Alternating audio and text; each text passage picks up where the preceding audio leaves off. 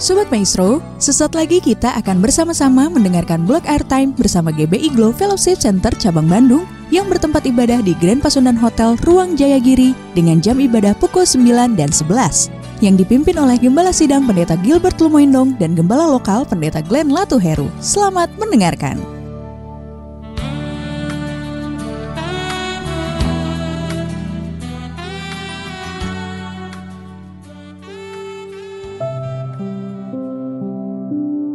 Selamat malam Sobat Maestro yang dikasih dalam Tuhan. Shalom Puji Tuhan, malam hari ini kembali GBI Glow Fellowship Center cabang Bandung boleh mengudara memberkati setiap pendengar Radio Maestro di mana pun Sobat Maestro berada malam hari ini dan saya percaya malam hari ini kita beriman sama-sama malam berkat, malam mujizat, malam anugerah Tuhan di mana malam ini adalah malam perjumpaan kita dengan Tuhan Yesus dengan Roh Kudus melalui firman Tuhan yang akan kita pelajari bersama-sama. Masih bersama saya Pendeta Glenn Latuheru kita akan belajar kebenaran firman Tuhan sehingga pada akhirnya hidup kita dituntut dituntun, hidup kita dipimpin dalam terang firman Tuhan. Yang pada akhirnya firman Tuhan katakan bahwa hidup kita akan dibersihkan oleh firman Kristus dan hidup kita semakin hari semakin bertumbuh dalam pengenalan akan Tuhan Yesus. Puji Tuhan, kita berdoa, kita datang kepada Tuhan.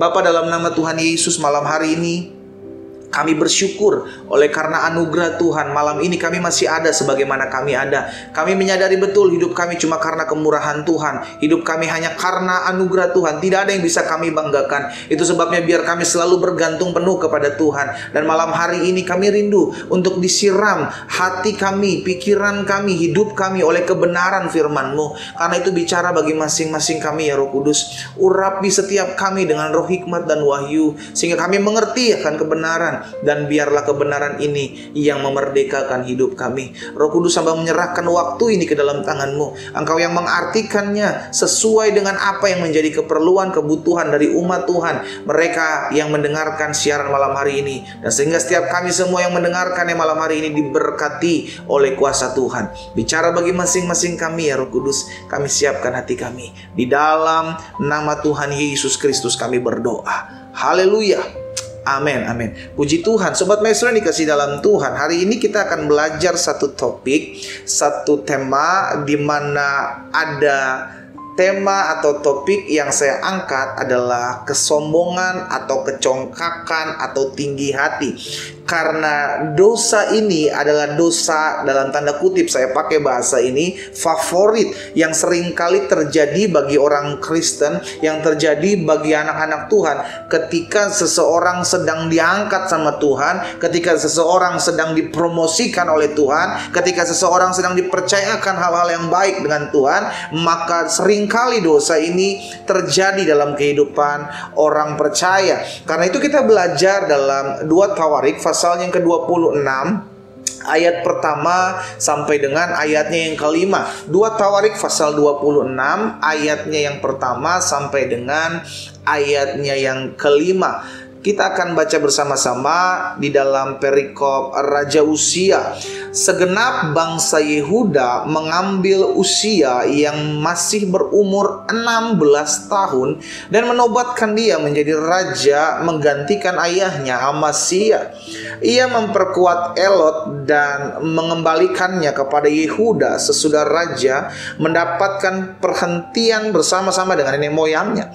Usia berumur 16 tahun pada waktu ia menjadi raja dan 52 tahun lamanya ia memerintah di Yerusalem. Nama ibunya ialah Yekolia dari Yerusalem ia melakukan apa yang benar di mata Tuhan, tepat seperti yang dilakukan sama si ayahnya. Ia mencari Allah selama hidup Zakaria yang mengajar supaya takut akan Allah. Dan selama ia mencari Tuhan, Allah membuat segala usahanya berhasil. Saudara yang dikasih dalam Tuhan, Raja Usia ketika memimpin orang-orang Yehuda dia mengajarkan dan melakukan apa yang seperti ayahnya lakukan. Siapa ayahnya? Ayahnya bernama Amasia, raja sebelumnya, yang mengajarkan tentang bagaimana hidup takut akan Tuhan, bagaimana mengasihi Tuhan. Nah, Raja Usia melakukan hal yang sama. Tapi apa yang terjadi, saudaraku yang dikasih dalam Tuhan, ketika Raja Usia melakukan segala sesuatu di dalam perkenanan Tuhan, dia dibuat berhasil oleh Tuhan dalam segala sesuatunya.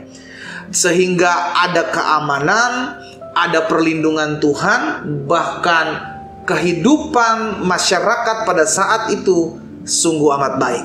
Sehingga apa yang terjadi ketika ada keamanan, ketika namanya masyur, ketika banyak orang memandang dia dan mengagung-agungkan dia dan dia menjadi pribadi yang terpandang, apa yang terjadi? Nah, kita lihat dalam 2 Tawarik 26 tadi, masih ayat pasal 26, ayatnya yang ke-15 dan ayatnya yang ke-16.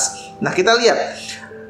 Lalu ia membuat juga di Yerusalem alat-alat perang ciptaan seorang ahli yang dapat menembakkan anak panah dan batu besar untuk ditempatkan di atas menara-menara dan penjuru-penjuru. Nama raja itu, nama raja usia itu termasyur sampai ke negeri-negeri yang jauh. Perhatikan saudaraku. Karena apa? Karena ia ditolong dengan ajaib sehingga menjadi kuat. Nah, perhatikan ayat yang ke-16. Setelah ia menjadi kuat, ia menjadi tinggi hati sehingga ia melakukan hal yang merusak. Ia berubah setia kepada Tuhan Allahnya dan memasuki bait Tuhan untuk membakar ukupan di atas mesbah pembakaran ukupan. Saudara yang dikasih dalam Tuhan, Raja Usia memulai segala sesuatunya dengan baik. Raja Usia melakukan tepat apa yang di mata Tuhan benar. Raja Usia hidup dalam takut akan Tuhan. Raja Usia selalu mencari Tuhan. Di awal-awal pemerintahannya saudaraku, apa yang terjadi? Raja Usia melakukan segala sesuatu baik. Tapi setelah semuanya aman, bahkan parahnya ini saya saya pakai bahasa saya parahnya begini. Ketika Raja Usia boleh dipercayakan hal-hal yang dahsyat, hal-hal yang luar biasa. Bahkan dia ditolong Tuhan untuk mendapatkan ketenaran kemasyuran. Bahkan Alkitab bilang nama Raja Usia itu termasyur sampai ke negeri-negeri yang jauh karena ia ditolong dengan ajaib sehingga dia menjadi kuat. Sehingga Raja Usia ini menjadi terkenal. Raja Usia ini gak ada yang berani melawan dia. Dia menjadi raja yang terpandang baik buat negeri-negeri sekelilingnya maupun kepada rakyatnya. Tapi apa yang terjadi saudaraku? Alkitab mengatakan ketika ia menjadi kuat, ia menjadi tinggi hati. Ketika ia menjadi kuat, maka raja ini menjadi tinggi hati. Saudara, benarlah apa yang dikatakan Amsal 16 ayat 18. Kecongkakan mendahului kehancuran, saudaraku tinggi hati mendahului kejatuhan. Saya ulangi Amsal 16 ayat 18. Kecongkakan mendahului kehancuran dan tinggi hati mendahului kehancuran, kejatuhan. Jadi orang yang sudah dipercayakan Tuhan, orang yang sudah diberkati, orang yang sudah diangkat uh, sama Tuhan, tiba-tiba ketika dia menikmati segala sesuatunya, maka dia menjadi tinggi hati. Benarlah kata Paulus bilang, masakan engkau mau memulainya dengan roh dan engkau mengakhirnya di dalam daging. Saudaraku, jangan sampai kita udah hidup dekat dengan Tuhan, kita takut akan Tuhan, kita melayani Tuhan, sampai akhirnya Tuhan mempromosikan hidup kita, kita dapat perkenanan Tuhan, kita diberkati dengan segala keberkatan Tuhan, dan ujung-ujungnya kita lupa Tuhan, sehingga kita akhirnya ketika kita diberkati, kita nggak melayani Tuhan lagi. Kita diberkati, kita justru semakin jauh dari Tuhan. Kita beribadah kepada kita diberkati oleh Tuhan, tapi hidup kita justru semakin hancur. Nah, ini yang sering kali terjadi dalam kehidupan orang percaya. Saudara ingat kasus bagaimana 10 orang kusta disembuhkan oleh Yesus? Berapa yang datang kembali saudaraku? Yes. Satu. Ini merupakan perbandingan berarti saya percaya betul orang yang bersyukur kepada Tuhan itu satu banding sepuluh lah. Iya kan? Bagaimana ketika Tuhan angkat kehidupannya, Bagaimana ketika Tuhan tolong masa-masa yang sulit, masa-masa yang sukar Tuhan udah sertai sehingga pada akhirnya dia keluar sebagai orang-orang yang kuat, orang-orang yang tegur dan pada akhirnya dia diberkati Tuhan. Ini yang saya mau ingatkan buat setiap kita saudaraku. Jangan sampai ketika kita diberkati Tuhan, jangan sampai ketika kita dipromosikan diangkat oleh Tuhan dalam pekerjaan kah, dalam rumah tangga kah ditolong Tuhan, dalam usaha kah, Jangan lupa Tuhan. Jangan lupa Tuhan. Jangan sampai hidup kita jadi sama seperti Raja Usia. Saudaraku perhatikan di ayat-ayat selanjutnya. Bahkan parahnya Raja Usia mengalami sakit kusta. Di akhir kehidupan Raja Usia, saudaraku, waduh, miris. Sangat miris. Karena dia sakit kusta, maka harus tinggal di luar perkemahan. Dia harus tinggal di luar uh, ada tempat khusus. Dan dia nggak jadi pribadi yang terpandang lagi. Kenapa? Karena awalnya apa, saudaraku? tinggi hati mendahului kejatuhan itulah benar adanya. Wow, kalau kita udah tahu firman Tuhan, kita sadar diri. Bahasa kerennya tuh gini, mbok ya eling gitu loh. Bahasa keren. Iya, sadar dong. Kita ini siapa? Jangan ketika kita udah dipercayakan hal-hal yang dahsyat, hal-hal yang luar biasa, kita udah dipromosikan oleh Tuhan, yang sebenarnya kalau kita pikir, saudaraku, kita nggak layak terima ini. Kalau kita pikir-pikir lagi, ini bukan hasil usaha saya kok. Saya nggak memperjuangkannya, tapi Tuhan buka jalan. Kan sering kita alami seperti itu. Sehingga akhirnya kalau kita ada sebagaimana kita ada hari ini dengan segala keberkatan Tuhan, dengan segala anugerah Tuhan, dengan segala promosi ilahinya Tuhan, nggak ada yang bisa kita sombongkan. Amin. Lihat ya saya 2 ayat 11. Yesaya pasal 2 ayat 11 bilang begini. Manusia yang sombong akan direndahkan dan orang yang angkuh akan ditundukkan. Saya ulangi sekali lagi. Yesaya 2 ayat 11, manusia yang sombong akan direndahkan saudaraku. Orang yang angkuh akan ditundukkan dan hanya Tuhan sajalah yang maha tinggi pada hari itu. Saudara dikasih dalam Tuhan. Hari ini kita belajar dari Raja Usia. Raja Usia orang yang takut akan Tuhan di awal-awal pemimpinannya saudara. Di awal-awal pemerintahannya orang ini raja ini maksud saya dia mengajarkan bagaimana rakyatnya hidup takut akan Tuhan hidup benar di mata Tuhan hidup memimpin rakyat untuk hidup memembah Tuhan. Tapi apa yang terjadi ketika dia menerima kesuksesan Apa yang terjadi ketika dia menerima promosi Tuhan? Apa yang terjadi ketika seluruh rakyat memandang dan mengagung-agungkan dia? Apa yang terjadi ketika seluruh negeri di sekeliling dia mengagung-agungkan dia? Saudaraku, Ingat baik, Yesus pernah diuji. Dan saya percaya apa yang Yesus alami, kita juga akan alami. Yesus pernah diuji. Ketika dia memulai pelayanannya, dia diuji tiga hal. Yang pertama bicara tentang makanan. Ada banyak orang karena makanan, ada banyak orang karena urusan perut tinggalkan Yesus. Yang kedua apa yang diuji oleh Yesus kepada Yesus? Kesombongan rohani dibawa ke bubungan bait Allah, dibawa ke bubungan bait ting Allah yang tinggi. Disuruh lompat. Ada banyak orang Kristen ketika dipercayakan hal-hal karunia-karunia rohani akhirnya jadi sombong rohani. Hati-hati. Dan yang ketiga apa yang diuji kepada Yesus saudaraku? Harta dunia. Iblis bilang sama Yesus, lihatlah sekelilingmu, akan kuberikan kepadamu jika engkau menyembah aku. Saudara saya percaya, kalau Yesus aja diuji, maka saya percaya kita pun hidup akan diuji, saudara. Kita hidup pasti diuji. Kalau kita sedang masuk tahap-tahap pengujian, pesan saya sebagai hamba Tuhan, tetap humble. Tetap ingat, apa yang engkau dapati, apa yang engkau raih saat ini, itu bisa dengan seketika mungkin lenyap kalau Tuhan izinkan. Tapi hal yang sama berbalik juga bisa terjadi. Tetap akan ada bahkan semakin banyak ketika engkau tetap taat dan setia untuk beribadah kepada Tuhan dan mencari Tuhan. Amin. Alkitab sudah catat apa yang perlu kita ketahui. Alkitab sudah ajarkan apa yang perlu kita buat dan lakukan. Raja Usia di awal-awal kepemimpinannya dia mengajarkan yang benar.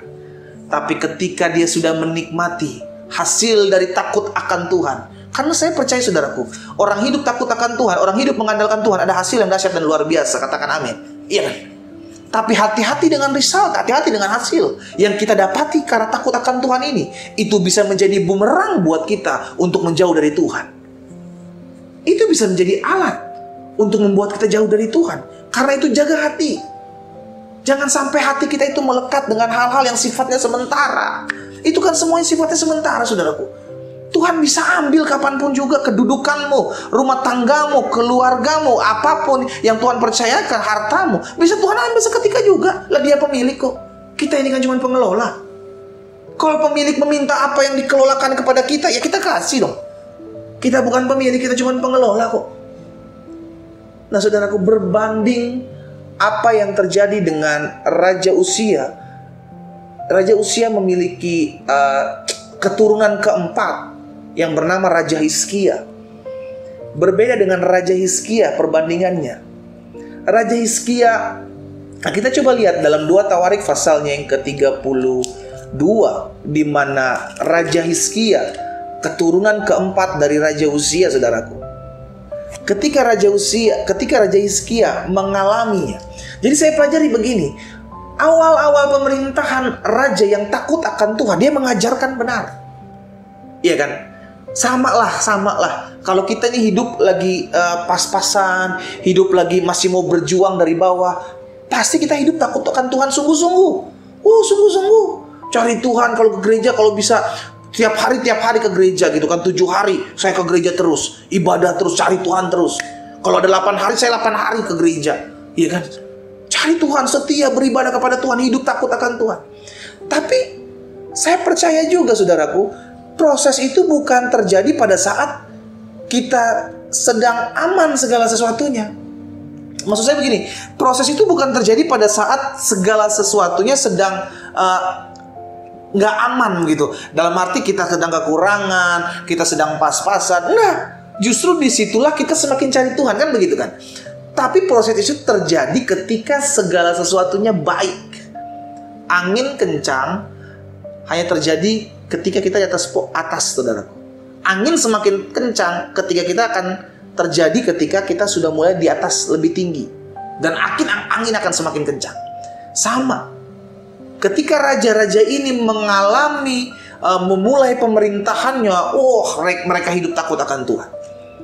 Mereka Raja Hizkia ini mereka dia hidup takut akan Tuhan dia mengasihi Tuhan sama seperti uh, uh, apa namanya uh, opanya begitu kan opa dari papanya begitu kan dia mengasihi Tuhan Raja Usia ini. Sehingga pada akhirnya saudara kalau kita pelajari di dalam dua Tawarik pasal 32 ini di ayat 23 banyak orang membawa persembahan ke Yerusalem untuk Tuhan dan barang-barang berharga untuk Hizkia Raja Yehuda itu. Bukan hanya harta benda yang dimiliki oleh Hizkia, tapi apa dikatakan? Sejak itu ia diagungkan oleh semua bangsa. Saudaraku perhatikan, ini yang saya bilang tadi, buah dari ketaatan kita, buah dari kesetiaan kita, buah dari hidup benar kita di hadapan Tuhan, ada berkat pemeliharaan Tuhan, itu pasti.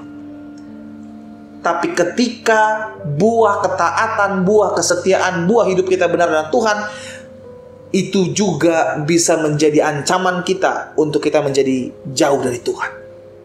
Ayat selanjutnya ayat 24 dari dua Tawarik pasal 32. Pada hari-hari itu Hizkia jatuh sakit sehingga ia hampir mati.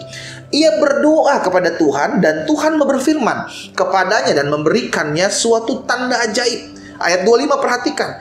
Tetapi Hizkia tidak berterima kasih atas kebaikan yang ditunjukkan Tuhan kepadanya. Karena ia menjadi apa saudaraku? Menjadi angkuh. Sehingga ia dan Yehuda dan Yerusalem ditimpar murka. Nah ini yang tadi saya bilang. Orang kalau udah dapat kedudukan, orang kalau udah dapat jabatan, itu sama Tuhan tuh sombong, jauh dari Tuhan. Tapi bedanya antara Hizkia dan Usia di ayat 26. Perbedaannya saudaraku. Kalau Raja Usia ketika dia semakin tinggi hati, maka dia semakin jauh, semakin sombong, semakin congkak. Dan pada akhirnya dia nggak bertobat, makanya dia dikasih sakit kusta. Dan pada akhir hidupnya dia menderita. Tapi Raja Hizkia, ayat 26 bilang begini tetapi ia sadar akan keangkuhannya itu dan merendahkan diri bersama-sama dengan penduduk Yerusalem sehingga murka Tuhan tidak menimpa mereka pada zaman Hiskia ayat 27 Hiskia mendapat kekayaan dan kemuliaan yang sangat besar. Saudara yang dikasih dalam Tuhan. Wow dahsyat. Saya sangat diberkati ketika saya merenungkan hal ini. Jadi begini kalau orang memulai sesuatu itu untuk hidup takut akan Tuhan, untuk mengasihi Tuhan, itu wajar lah karena pengen memulai sesuatu, ya kan? Tapi bagaimana ketika kita memiliki segala sesuatu? Kita tetap mengasihi Tuhan, kita tetap setia. Jauhkan daripada hatimu kecongkakan, tinggi hati, sombong. Saudaraku, Tuhan yang sama yang bisa memberkati hidup kita seketika ini juga. Allah yang sama yang dapat mengambil apa yang dia berikan kepada kita seketika ini juga. Tuhan hanya lihat sikap hati kita kok. Bagaimana ketika kita dipercayakan hal-hal yang besar sama Tuhan. Sebagai hamba Allah saya cuma mau ingatkan malam hari ini saudara, kalau engkau saat-saat ini sedang diberkati Tuhan. Kalau engkau hari-hari ini sedang dipercayakan proyek-proyek besar oleh Tuhan, kalau engkau hari-hari ini sedang dipromosikan tangan Tuhan dengan cara-cara Tuhan yang ajaib, mungkin kau berpikir, Tuhan saya nggak layak terima ini. Tuhan ini bukan karena saya, tapi ini yang saya bilang. Mungkin itu adalah buah dari ketaatanmu. Itu adalah buah dari kesetiaanmu. Itu adalah buah dari mana engkau hidup benar di hadapan Tuhan. Tapi kembali lagi saya ingatkan malam hari ini. Hati-hati. Karena dengan buah itu bisa membuat engkau jauh dari Tuhan. Tapi kalau ketika engkau tetap setia, ketika engkau tetap taat, ketika engkau tetap hidup benar, maka Tuhan bisa memberkati engkau lebih lagi. Ini yang dialami oleh Hizkia, saudaraku. Hari ini, malam ini, kita belajar dari dua raja. Yang pertama Raja Usia, yang kedua Raja Hizkia. Ada perbandingan yang besar. Bagaimana ketika mereka memulai sesuatu dalam pemimpinan pemerintahan sebagai seorang raja di Yehuda mereka mengajarkan sama-sama hidup takut akan Tuhan, sama-sama memulai dengan Tuhan, sama-sama mengajarkan kepada rakyatnya bagaimana hidup mengasihi Tuhan, dan itu berkenan di hadapan Tuhan. Tapi dua raja ini, ketika diperhadapkan dengan kekayaan, kedudukan, jabatan, nama besar, dua raja ini menjadi berbeda. Dua-duanya mengalami kesombongan. Dua-duanya menjadi angkuh, dua-duanya menjadi tinggi hati. Tapi perbedaannya si raja usia ini tetap terus hidup dalam dosanya, dalam kesombongan tinggi hatian. Tapi satu dari rajanya ini, Raja Hizkia ini, dia sadar dan dia berbalik kepada Tuhan sehingga Tuhan mengampuni dosanya. Tuhan mengembalikan segala apa yang dia berikan dalam hidupnya. Saudara dikasih dalam Tuhan.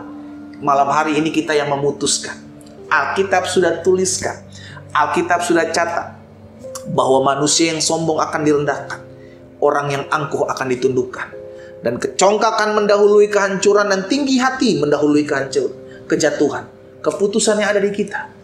Kalau hari-hari ini kita sedang dipercayakan hal-hal yang luar biasa, saudaraku, tetap layani Tuhan. Sesibuk-sibuknya engkau, sepadat-padatnya jadwal engkau, saudaraku. Tetap layani Tuhan. Kenapa? Karena daripada Tuhanlah engkau mendapatkan segala sesuatu itu. Dan ingat baik, kalau hari-hari ini engkau sedang dipromosikan oleh Tuhan, dalam pekerjaan muka, dalam usaha muka, dalam bisnis muka, sesuatu yang mungkin engkau sedang tidak usahakan, tapi Tuhan kasih dengan cara-caranya yang ajaib. Belajar dari Hizkia, sadar bahwa apa yang kita miliki itu berasal daripada Tuhan. Kita tundukkan kepala kita. Kita datang kepada Tuhan. Malam hari ini ya Tuhan, kami diingatkan bahwa kami adalah pribadi-pribadi yang Tuhan percayakan dengan segala keberkatan Tuhan. Karena itu hamba berdoa ya Tuhan, jauhkan daripada kami hati yang sombong, jauhkan daripada kami hati yang tinggi hati, jauhkan daripada kami hati yang congkak, ketika kami dipromosikan Tuhan, ketika kami diangkat Tuhan, ketika kami dipercayakan oleh Tuhan, hal-hal yang dahsyat, hal-hal yang luar biasa yang Tuhan buat, yang Tuhan kerjakan dalam hidup kami. Bapak hamba berdoa sehingga setiap pendengar radio maestro malam hari ini di mana pun mereka mendengarkan siaran ini. Dan kalau hari-hari ini mereka sedang diuji sama seperti engkau Yesus pernah diuji karena ini. Biarlah mereka keluar dalam pengujian ini sebagai orang-orang yang menang orang-orang yang tetap terus sadar, orang-orang yang tetap terus mengingat bahwa segala yang kami miliki dapat dengan mudahnya Tuhan ambil. Karena itu biar kami memuliakan Tuhan dengan harta kami. Kami memuliakan Tuhan dengan kedudukan kami. Kami memuliakan Tuhan dengan jabatan kami. Kami memuliakan Tuhan dengan apa yang Tuhan percayakan dalam hidup kami. Amba ucapkan berkat ya Bapak. Bagi setiap pendengar Sobat Maestro di mana pun mereka malam hari ini berada. Kalau mereka hari-hari ini sedang mengalami hal-hal tersebut. Hal-hal yang menggoncangkan iman mereka. Hal-hal yang menggoyangkan kepercayaan mereka. Aku berdoa di dalam nama Yesus. Tuhan teguhkan iman mereka ketika mereka mendengarkan firman ini. Sehingga pada akhirnya kami hidup tetap taat, kami hidup tetap setia, kami hidup tetap beribadah dan mencari Tuhan di dalam ketulusan hati kami, di dalam nama Yesus. Bapak hamba berdoa juga ya Tuhan buat setiap umat Tuhan, mereka yang mengalami kelemahan tubuh, yang malam hari ini mendengarkan firman Tuhan. Bapak hamba berdoa dalam nama Yesus Tuhan jamah masing-masing mereka. Sehingga setiap firman yang kami dengar, kami menyadari hidup kami, tubuh kami yang mungkin hari-hari ini sedang mengalami kelemahan tubuh.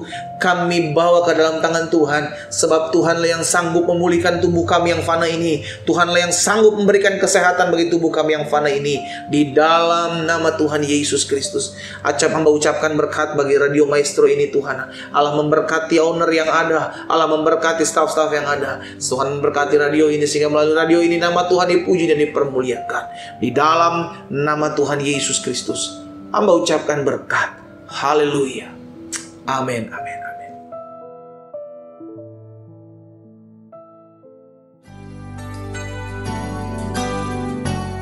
Sobat Maestro, Anda baru saja mendengarkan blog airtime bersama GBI Glow Fellowship Center Cabang Bandung yang bertempat ibadah di Grand Pasundan Hotel Ruang Jayagiri dengan jam ibadah pukul 9 dan 11 yang dipimpin oleh Gembala Sidang Pendeta Gilbert Lumoindong dan Gembala Lokal Pendeta Glenn Latuheru. Untuk informasi, doa dan konseling dapat menghubungi Pendeta Glenn Latuheru di nomor 0813 5607 8506. Terima kasih atas kebersamaan Anda dan Tuhan Yesus memberkati.